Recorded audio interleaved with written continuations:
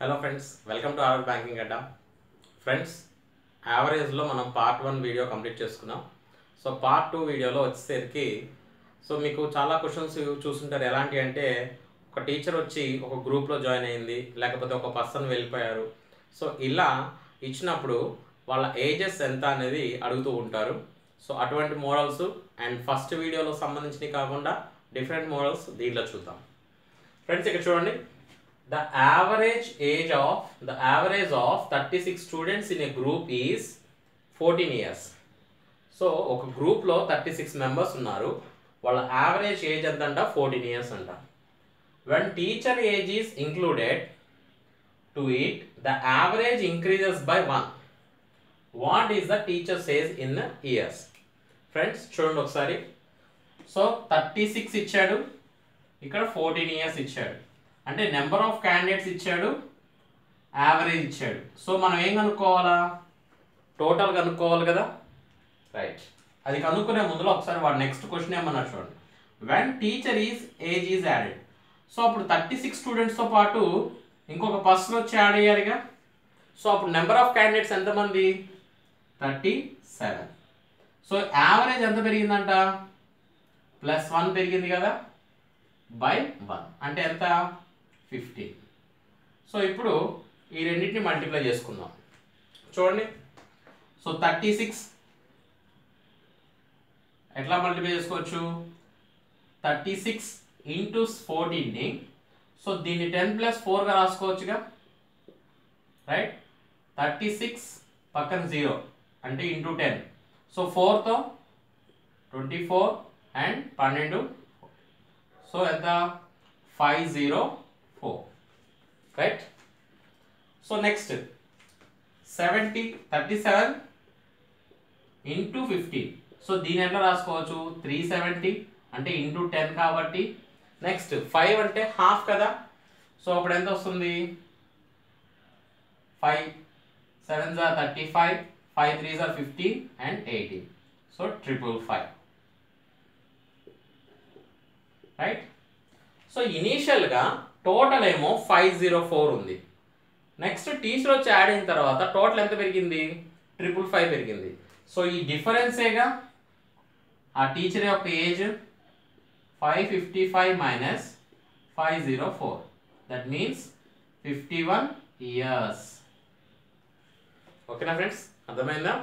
So total అనేది first five zero four ఉంది. Next వచ్చేసి ట్రిపుల్ ఫైవ్ అయింది. అంటే దాని అర్థం ఏంటి? టీచర్ ఏజ్ ఎంత వచ్చి యాడ్ అయింది ఫిఫ్టీ వన్ ఇయర్స్ వచ్చి యాడ్ అయింది నెక్స్ట్ ప్రాబ్లం చూద్దాం friends second problem the average age of husband and his wife was twenty three years at the time of their marriage.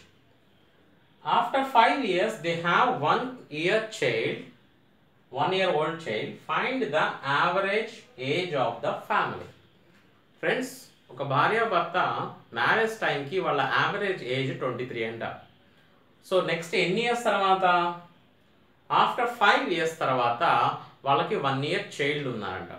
అయితే వాళ్ళ ముగ్గురి యొక్క యావరేజ్ ఎంత అని అడుగుతున్నాడు. సో ఫ్యామిలీ అంటే అక్కడ ఉంది ఎంతమంది? ముగ్గురు.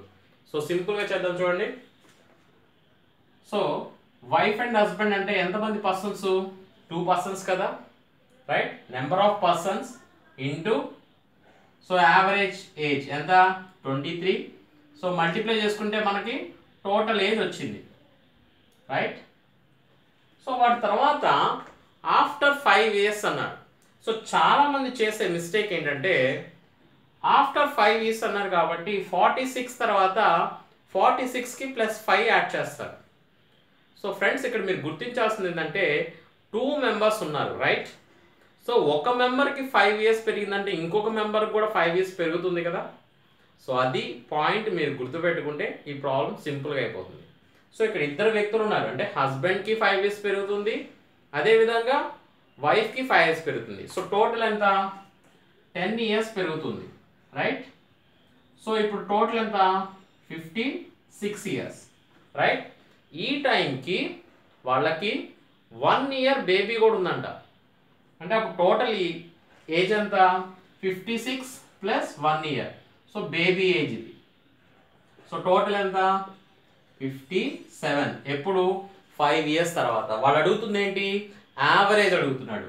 So fifty seven by so number of people ఎంతమంది? త్రీ మెంబర్స్ రైట్ సో మూడు ఒకట్లు మూడు తొమ్మిదిలు. సో నైన్టీన్ ఇయర్స్ అనేది వాళ్ళ యావరేజ్ ఏజ్ అనమాట ఓకేనా ఫ్రెండ్స్ క్లియరా నెక్స్ట్ ప్రాబ్లం చూద్దాం ఫ్రెండ్స్ నెక్స్ట్ ప్రాబ్లం సో కొంచెం important the average weight of eight persons is increased by two point five kg when one of them whose weight is 56 kg is replaced by a new man. The weight of the new man is friends మామూలుగా eight persons average ఇవ్వట్లేదు. Average increased by two point five kg అంటున్నాడు. ఎప్పుడైందంట పెరిగింది? ఒక person fifty కే six KG ఉన్న person కొత్త పర్సన్తో replace అయినప్పుడు ఆ యావరేజ్ అనేది పెరిగిందంట. సో దీంట్లో ఎలా చేస్తారంటే ఎక్స్ అనుకొని సో న్యూ పర్సన్ వచ్చి జాయిన్ అయ్యేసి సో. మనం ఏంటంటే ఈ ప్రాబ్లమ్ని సింగిల్ లైన్లో ట్రై చేద్దాం. చూద్దామా? సో ఇక్కడ average eight weight of eight persons is increased by అన్నాడు సో టోటల్ ఎంత పెరిగింది? మనం అది కనుక్కుందాం. Eight into two point five ఎంత పెరిగింది? ట్వంటీ కేజీ పెరిగింది. ఇంక్రీజ్ అయింది రైట్ ఎప్పుడు? ఫిఫ్టీ సిక్స్ కేజీ పర్సన్ వెళ్ళిపోయి న్యూ పర్సన్ వచ్చినప్పుడు. అంటే దాని అర్థం ఏంటి? ఫిఫ్టీ సిక్స్ కేజీ ఉన్న పర్సన్ వెళ్ళిపోయాడంట అవుట్ రైట్ సో ఒక న్యూ పర్సన్ వచ్చాడు. న్యూ పర్సన్ వచ్చినప్పుడు ఎంత అడిషనల్గా పెరిగింది? ట్వంటీ పెరిగింది. అంటే కొత్తగా వచ్చిన పర్సన్కి ఎంత వెయిట్ ఉంటుంది? సింపుల్గా చూడండి. వెళ్ళిన వ్యక్తికి యాభై ఆరు. అదే యాభై ఆరు వచ్చి జాయిన్ అయింది అనుకోండి ఏమన్నా చేంజ్ ఉంటుంది యావరేజ్లో ఉండదు. కానీ ఇక్కడ యావరేజ్ అనేది పెరిగింది కదా? ఎంత పెరిగింది? ట్వంటీ కేజీ పెరిగింది కదా? సో న్యూ పర్సన్కి వెళ్ళిపోయిన పర్సన్తో పాటు అడిషనల్ ఎంత వచ్చింది? ట్వంటీ కేజీ అంటే దాని అర్థం ఏంటి? టోటల్ సెవెంటీ సిక్స్ కేజీస్ ఉన్న వ్యక్తి వచ్చి ఈ గ్రూప్లో జాయిన్ అయితే ఆ టోటల్ ఏజ్ వెయిట్ అనేది ట్వంటీ కేజీ పెరిగింది. సో ఏం లేదు ఫ్రెండ్స్ వెళ్ళిపోయిన వ్యక్తి ఇంక్రీజ్ అయిన కేజీ సో కొత్తగా వచ్చిన వ్యక్తి. రైట్ ఒకవేళ డిక్రీజ్ అయింది అనుకున్నాను అనుకోండి ప్లస్ ప్లస్లో మైనస్ పెట్టుకోవడం సో కాన్సెప్ట్ బేస్డ్గా వెళ్ళిపోవడం ఈ ప్రాబ్లం ఎక్కువ టెన్షన్ ఏమవుద్దు ఓకేనా ఫ్రెండ్స్ క్లియరా వెళ్ళిపోయిన వ్యక్తి ఏజ్కి సో వచ్చిన ఏజ్కి ఎంత పెరిగింది? ట్వంటీ పెరిగింది. Fifty six plus twenty seventy six kg వచ్చిన అతను న్యూ ఏజ్ న్యూ కేజీ అనమాట ఓకేనా నెక్స్ట్ ప్రాబ్లం చూద్దాం friends next problem in a school with 600 students, the average age of boys is 12 years and that of the girls is 11 years. So average age of boys ఎంతమంది 12 years, girls ఎంతమంది 11 years. If the average age of the school is 11 years 9 months, then the number of girls in the school friends ప్రాబ్లంలో మీరు ఇక్కడ average age eleven years nine months అని ఇచ్చివ్వగానే so months ఇచ్చారు ఎట్లా కనుక్కోవాలని చెప్పి చిన్న అనో ఈ ప్రాబ్లం వస్తుంటుంది సో దాన్ని మనం క్లియర్ చేద్దాం ఎట్లా అనేది సింపుల్గా చేద్దాం ఫ్రెండ్స్ చూడండి ఇక్కడ first of all eleven years అన్నాడు రైట్ సో నైన్ మంత్స్ని ఇయర్స్లో మార్చుకోవాలంటే నైన్ బై ట్వెల్వ్ వేసుకోవడమేగా అవునా right so three threes three fours so మీరు ఆల్రెడీ ఈ పర్సంటేజెస్ నేర్చుకొని ఉంటే సో త్రీ బై ఫోర్ అంటే ఎంత మామూలుగా? పర్సంటేజ్ కాకుండా పాయింట్ సెవెన్ ఫైవ్ అనేగా సో దీన్ని ఎట్లా తీసుకోవచ్చు మనం? లెవెన్ పాయింట్ సెవెన్ ఫైవ్గా తీసుకోవచ్చు. ఓకేనా ఫ్రెండ్స్ సో ఇప్పుడు సిక్స్ హండ్రెడ్ స్టూడెంట్స్ యొక్క యావరేజ్ ఎంత? Eleven point seven five so friends ఇక్కడ ఏంటంటే రెండు మెథడ్స్ ఉన్నాయి. ఒకటి జనరల్ మెథడ్ రెండు ఆప్షన్స్ నుంచి ఈజీగా కనుక్కునే మెథడ్ సో మనం రెండు చూద్దాం. సో ఇప్పుడు చూడండి. వాడు ఎవరిని ఎవరిని అడుగుతాడు గర్ల్స్ని అడుగుతాడా రైట్ గర్ల్స్ నెక్స్ట్ అనుకుందాం. సో బాయ్స్ ఎంతమంది అవుతారు అప్పుడు? గర్ల్స్ ఎక్స్ అయినప్పుడు సిక్స్ హండ్రెడ్లో ఆ ఎక్స్ పోగా మిగిలిన వాళ్ళే కదా బాయ్స్ అవునా? అంటే గర్ల్స్ పోగా మిగిలిన వాళ్ళు బాయ్సే కదా? రైట్ సో ఇప్పుడు మనం చూద్దాం.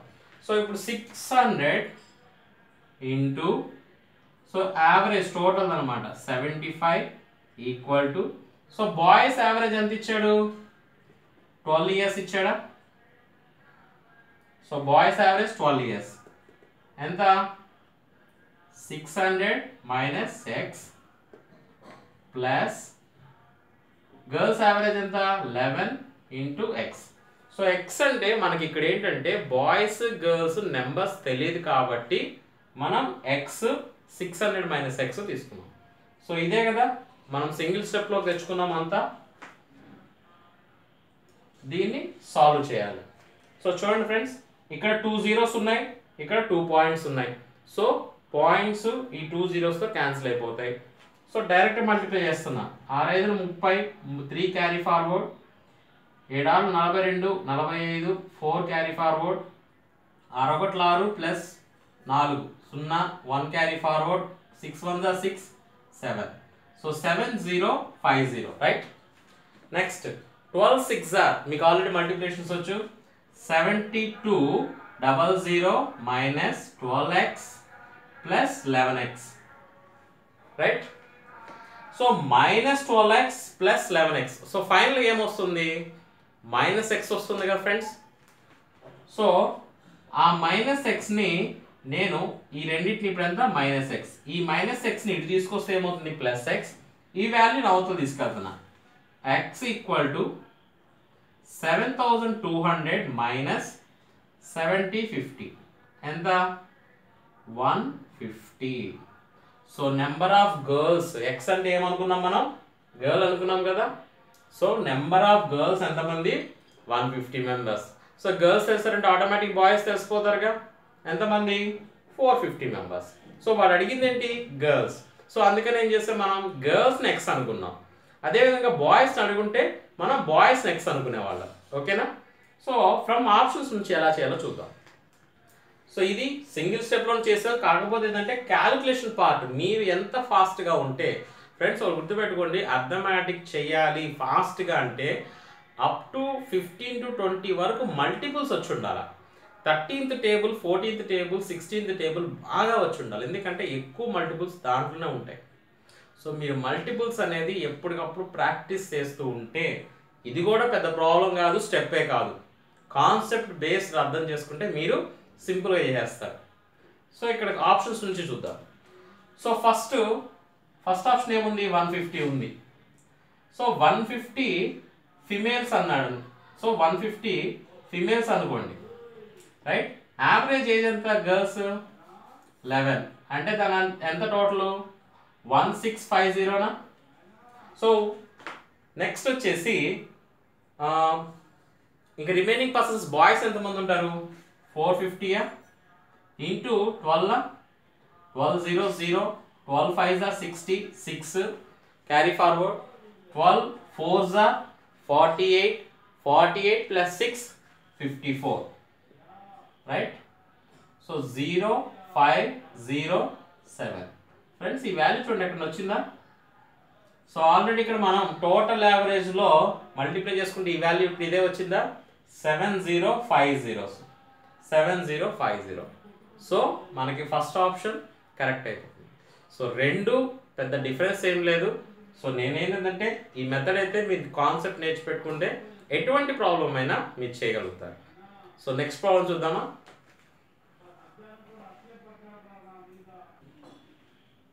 ఫ్రెండ్స్ నెక్స్ట్ ప్రాబ్లం సో ఇటువంటి ప్రాబ్లమ్ ఎగ్జామినేషన్స్లో ఎక్కువగా వస్తుంటుంది.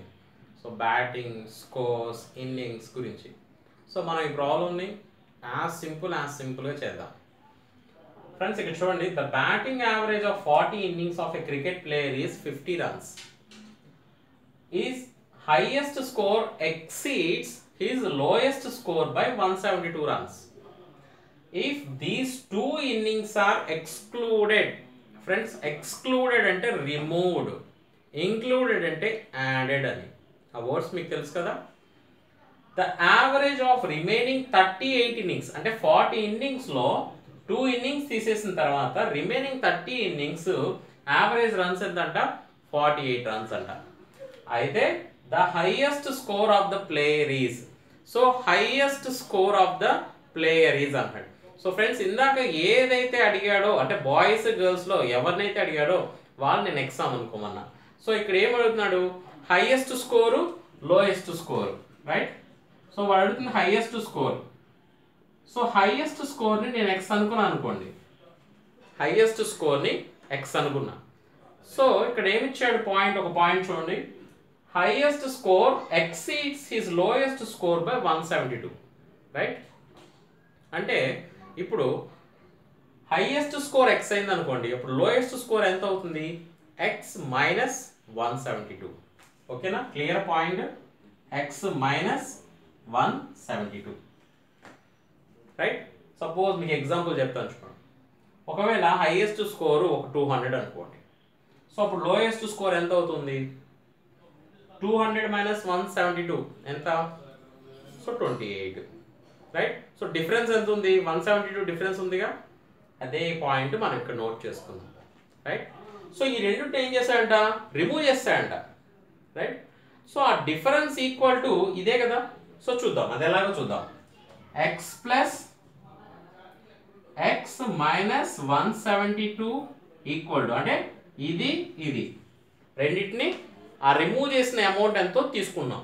సో ఫస్ట్ ఎంత total innings forty into fifty right ఇది total innings average minus remove చేసిన తర్వాత thirty eight into forty eight friends నా పాయింట్ మీకు అర్థమైందా? So highest one lowest one రెండు తీసేశాడు. ఆ వాల్యూ ఈ డిఫరెన్సే కదా? అవునా? సో ఎలాగో చూద్దాం. సో ఇప్పుడు x plus x two x minus one seventy two equal to forty into fifty ఎంత? టూ థౌజండ్ మైనస్ సో ఈ వాల్యూ కొంచెం టిపికల్ లేక ట్రై చేద్దాం. సో చూడండి ఫ్రెండ్స్ దీన్ని మామూలుగా మీకు మల్టిప్లేషన్ ఫాస్ట్గా వచ్చినట్టయితే ఫాస్ట్గా చేసేసేయండి. రాని పక్షాన ఇంకో విధంగా చేయండి. ఎలా అనేది చూడండి. సో ఇది నియరెస్ట్ వాల్యూ ఎంత? ఫిఫ్టీయా so thirty eight into fifty ఎంత? ఐదు వందల నలభై. ఐదు మూడు పదిహేను. పంతొమ్మిది. రైట్ సో ఎంత తక్కువ ఉంది? టూ కదా? ఫిఫ్టీకి సో టూ థర్టీ ఎయిట్స్ ఎంత? సెవెంటీ సిక్స్ మైనస్ చేసుకుంటే four so two one eight two four one eight two four so friends మీకు ఈ మెథడ్ ఈజీగా ఉంటే ఈ మెథడ్ ఫాలో అవ్వండి. లేదు మీరు మామూలుగా క్యాలిక్యులేషన్ పార్ట్ నాలుగు ఎనిమిది నాలుగు ఎనిమిది వందల అరవై నాలుగు సిక్స్ క్యారీ ఫార్వర్డ్ మూడు ఎనిమిది ఇరవై నాలుగు. సో ఈ క్యాలిక్యులేషన్ స్పీడ్ ఉంటే అది ఫాలో అవ్వండి. సో ఏ క్యాలిక్యులేషన్ మీరు ఒకటి నేర్చుకున్నారంటే అదే ఫాలో అవ్వండి. సో వీడియోస్ని బట్టి మారకండి. మీకు మరీ ఇబ్బందిగా ఉన్నప్పుడు ఏది సింపులో అది ఎంచుకోండి. రైట్ సో ఇప్పుడు ఈ డిఫరెన్సేగా ఈ తీసేసింది. రైట్ సో ఇప్పుడు ఈ డిఫరెన్స్ ఎంత? Two x minus one seventy two equal to so చూడండి. Six next seven